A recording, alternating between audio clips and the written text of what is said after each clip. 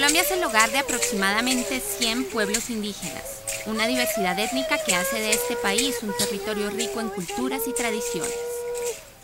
Sin embargo, estos pueblos ancestrales son uno de los grupos humanos más vulnerables a la violencia y a uno de sus efectos directos, el desplazamiento interno, que los ha obligado a buscar en las ciudades un refugio contra el conflicto que ha invadido sus territorios, generando cambios forzados en sus tradiciones y vida debido a la guerra y privándolos de la autonomía necesaria para decidir sobre su propia transformación.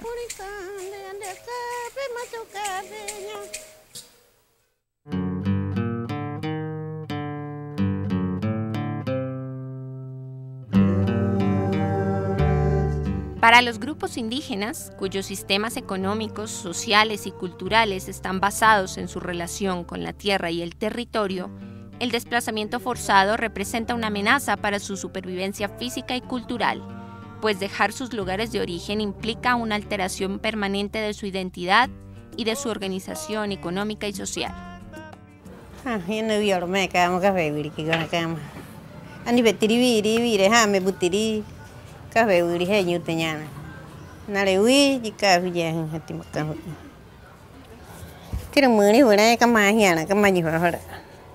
kalwalo manikanyuva ya ntino mwili vona kalwalo ng'ani fali ya ke kiti iga. Kalwalo tili Mani falo tino mwili vule manile maninyika vule nauna vule ke huva falo ha yuka kahue hari mani manijanale hiyale nakatotuhili atievu muhali jihigobe jejibe kitivoliko kalwalo kanako muhamina ke ni ba mi to na ke haro kina ki ka buga fana ka iwa he ji tu kana ki ni ki go ba mi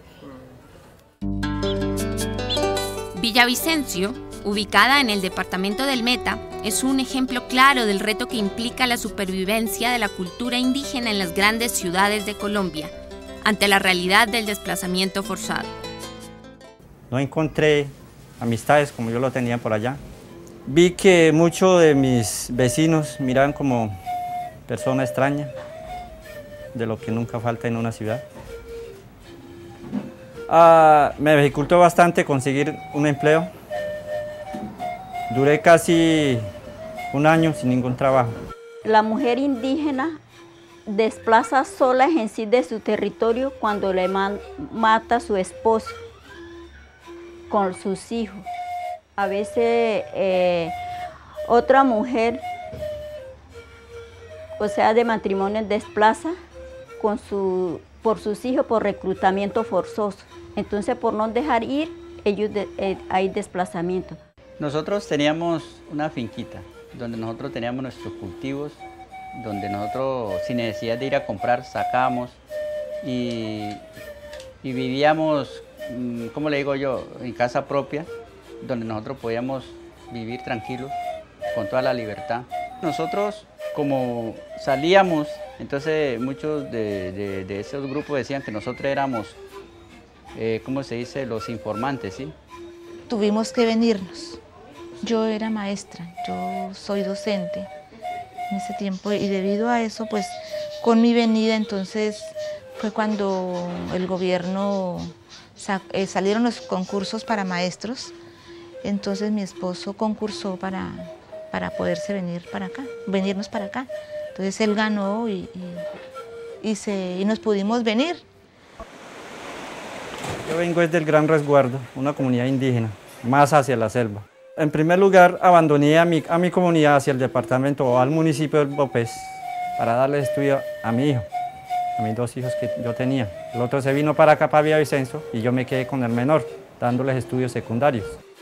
A base de eso, él consiguió la compañía de los amiguitos, por ahí se, se me iba abriendo, abriendo, hasta que por último, los muchachos que hoy en día hacen el desorden público, la famosa guerrilla, un día le tomaron a, a mano al menor.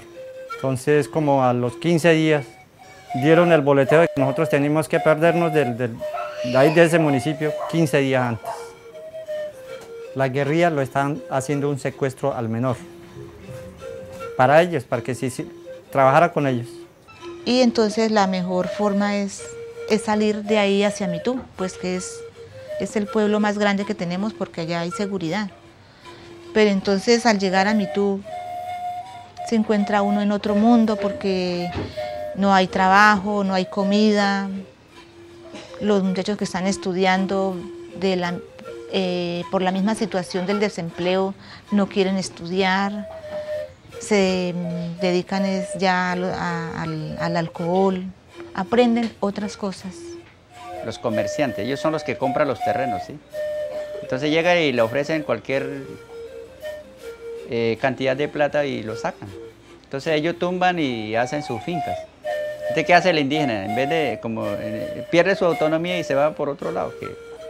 Entonces ya no puede comercializar más cerca porque ya le queda difícil, porque para traer un racimo de plátano, por decir, cuatro, tres, tres horas, metido en el monte y para salir eso es difícil. ¿sí? Eh, a veces el pronunciamiento mío en cuanto a mí ha sido nosotros los indígenas somos gente del campo, no de la ciudad. Nuestros, nuestros padres, nuestros abuelos, ellos no utilizaron la plata. Ellos era todo trueque.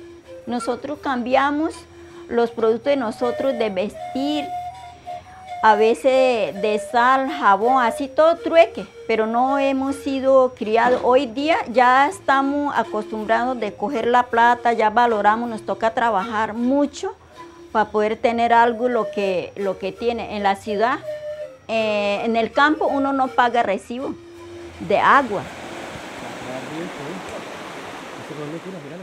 Llegar a una ciudad es muy diferente y muy forzoso. No es como estar uno en la selva. Ustedes lo ven acá las artesanías, que con ello como pudimos lo hemos sustentado de, a la familia, pagando los arriendos, los recibos, todo eso es lo que se le corresponde hacer a, una ciudad.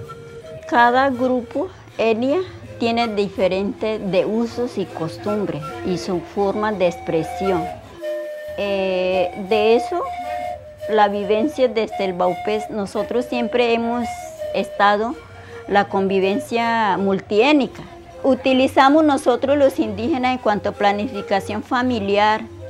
Existen nuestras madres, nuestros padres también de otra etnia utilizan de un palo y nosotros como etnia Guanano tenemos una hierba donde siembra, son de, siembra el cultivo. Con una hierba se puede curar tranquilamente, sin necesidad de que usted haga la cola, porque aquí para conseguir la medicina es una briega total.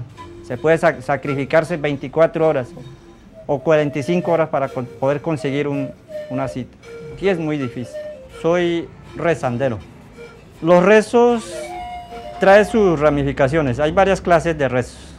Si va a ser para el rezo al, al dolor de cabeza, que lo decimos por allá sensiblemente, que es la cefalea. Hay que conocer bien cómo es si el dolor de cabeza es sencillamente un dolor sencillo, si es punzante, bueno, todo eso se reza. Hay partes también que son gente que dicen que le duele el cuerpo, entonces esto también tiene su cura.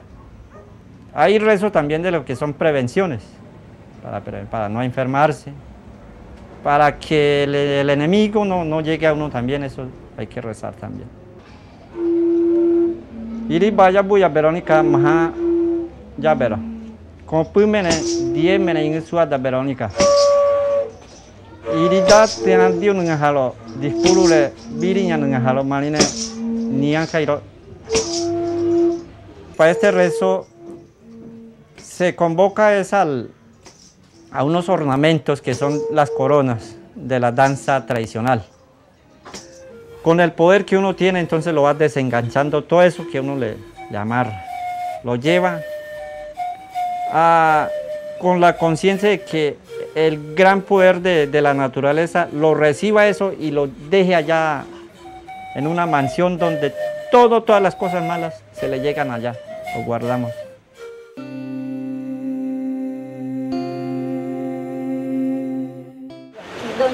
Viviana, ella es etnia siriana, y ella es cantora dentro de la maloca en territorio de ella. Va a cantar a ustedes, a los blancos que han venido a visitar a ella, para que ustedes escuchen. Mi voz es amplio, sentimental. Hoy día alimento de ella es todo comprado. Es la cultura de ustedes, de los blancos. Eso es lo que la canción titula. Pena que ya decir más, pena que disparimos ya decir, disparimos ya decir.